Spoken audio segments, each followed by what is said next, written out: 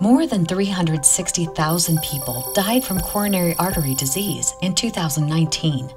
It develops when the arteries in your heart become partially or fully blocked by a fatty material called plaque. As a result, your arteries narrow, meaning your heart muscle doesn't get the blood flow it needs.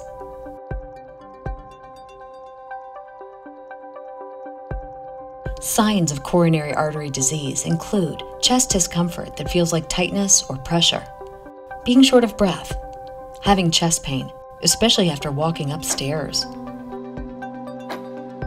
There are many ways to prevent coronary artery disease, but if you've already been diagnosed, is it possible to lessen its effects? Unfortunately, you can't reverse coronary artery disease entirely, and there is no cure. However, you can take steps to reduce your risk factors and manage the harmful plaque buildup impacting your health. Statins, short for statin medications, lower your bad cholesterol, which causes plaque to accumulate.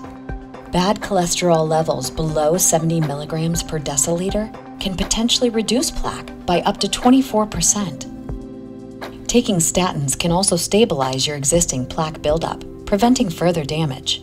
People can sometimes have uncomfortable or harmful side effects after taking statins, however, so talk to your doctor about what's best for you. If you or a family member has been diagnosed with coronary artery disease, there are several treatment options to consider. The four common approaches are 1. Make lifestyle changes. Embracing healthy habits is the best first step. Lifestyle changes you can make include quitting smoking, taking care of health problems such as high blood pressure, eating a heart healthy diet, exercising regularly, limiting alcohol intake. Number two, take medication. Your doctor may prescribe medications that will lower cholesterol, like statins, lower blood pressure, stop angina or chest pain, reduce the risk of blood clots, lower blood sugar levels if someone is diabetic. 3. Have a coronary stent procedure with severe artery blockages, you might need a percutaneous coronary intervention, what's commonly referred to as an angioplasty. First, doctors insert a thin tube called a catheter into an artery on your wrist or leg. This tube has a deflated balloon at the end. Using x rays as a guide, doctors direct the balloon catheter to the blocked artery.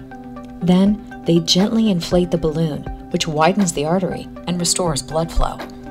Finally, Doctors implant a stent, which looks like a piece of scaffolding, to keep the artery open. Number 4. Have coronary artery bypass graft surgery. With this surgery, doctors create new paths for blood to flow around a blocked artery. Surgeons carefully remove blood vessels from your chest, arm, or leg. Next, they connect these vessels to existing blood vessels on the heart so oxygen rich blood can once again flow. Deciding the best coronary artery disease treatment depends on how severe your symptoms are, your age, how many arteries are affected, how severely your arteries are affected. You should speak with your doctor and determine the best treatment plan together.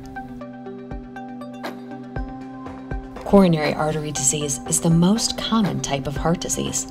However, sometimes you won't know you have it until you have a stroke or a heart attack. Talk to your doctor if you have a family history of heart disease or are experiencing any coronary artery disease symptoms. Early intervention is key to keeping your heart healthy, both now and in the future.